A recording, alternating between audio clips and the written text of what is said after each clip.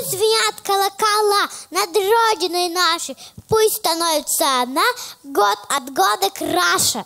Вот так необычно началось очень серьезное мероприятие. Зональная конференция, посвященная 20-летию региональной общественной организации «Собор русских Башкортостана», прошедшая в Кумертау в минувшую пятницу.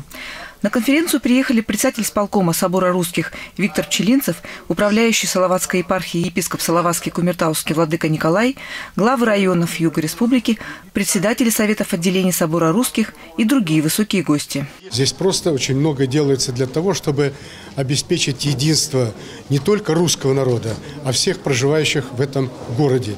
Ибо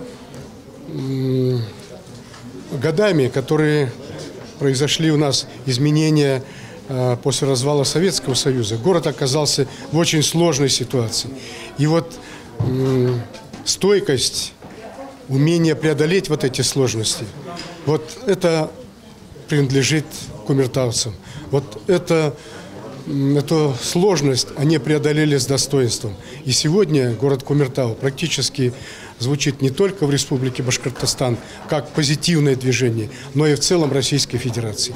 И поэтому собор русских Республики Башкортостан гордится тем, что здесь обеспечена достойная работа именно на обеспечение мира и согласия между народами и конфессиями. И вот эта правильная э, организованная работа, она дает вот такие плоды сегодня. Люди не оглядываются в прошлое, а именно живут будущем ради своих детей и внуков и делают все возможное, что от них зависит. С приветственным словом к собравшимся обратился глава городского округа город Кумертау Борис Беляев. Мы рады видеть э, преосвященнейшего владыку Николая, епископа Салаватской Кумертауской епархии, наше городское отделение Собор русских во главе с Олегом Анатольевичем Астаховым и приветствую всех представителей районов и городов Юга Республики. Также, спасибо большое. Также я приветствую руководителей всех национально-культурных центров города Кумертау, которые работают в сотрудничестве, сохраняя и укрепляя дружественную атмосферу в городе среди разных национальностей, а также педагогов, просветителей, руководителей казачьих объединений. Благодарю почетных гостей и представителей духовенства за то, что откликнулись на наше приглашение. Именно в таком представительном составе мы бы хотели сегодня провести зональную конференцию собора русских в Башкортостане, посвященный 20-летию создания. Борис Владимирович рассказал об истории нашего города, его дне сегодняшнем и перспективах развития, отметив, что именно благодаря неравнодушным, талантливым людям, живущим в Кумертау, город смог добиться определенных успехов в своем развитии. Именно таким горожанам, приглашенным на конференцию, Борис Владимирович вручил благодарственные письма и почетные грамоты, отметив их вклад в процветание Кумертау и поддержание духовного единства между различными народами, живущими в городе городе.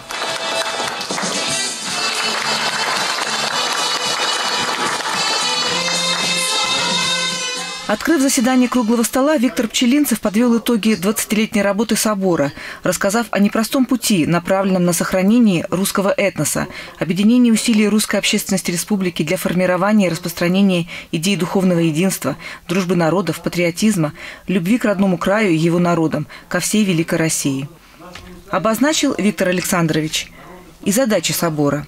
Это сохранение и изучение исторического наследия русского народа, дальнейшее развитие самобытной культуры, традиций, взаимовлияние, взаимодействие и взаимообогащение русской культуры, культур других славянских народов с культурами народов, населяющих Республику Башкортостан. Это распространение знаний и информации об истории, культуре и современном состоянии русских Башкортостана, содействие активизации краеведческого движения – Поддержка усилий общественности, органов государственной власти и местного самоуправления Республики Башкортостан по возрождению русских национальных обычаев, традиций, обрядов, народных промыслов и фольклора. Взаимодействие с Уфимской епархией Московского патриархата Русской Православной Церкви по вопросам возрождения православной культуры, духовности, воспитания у жителей Республики Башкортостан, чувств милосердия, развития благотворительной и миротворческой деятельности. Немало добрых слов произнес Виктор Александрович в адрес Кумертау и его жителей. Как сегодня работает город, чем живет город.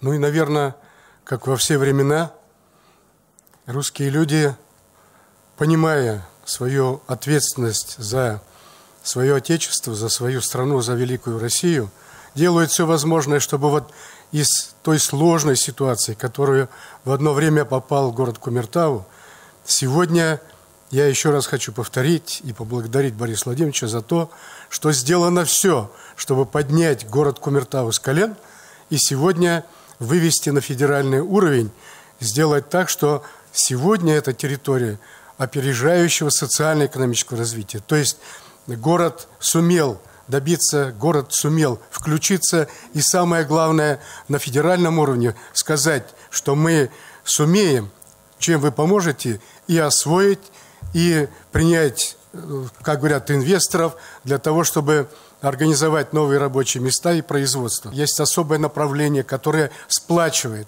объединяет, определяет какие-то наиболее важные, э, основополагающие критерии. И то есть видно, что город, вот несмотря на, будем говорить, свою молодость, но он выработал и имеет свои сегодня традиции, человеческие традиции, э, экономические, работа с молодежью, умение позиционировать на уровне республики и не только, а сегодня умение позиционировать на уровне в целом Российской Федерации. И это все дорогого стоит. О роли Русской Православной Церкви в работе Собора Русских и о единстве всех народов говорил за круглым столом епископ Салаватский и Кумертауский Владыка Николай.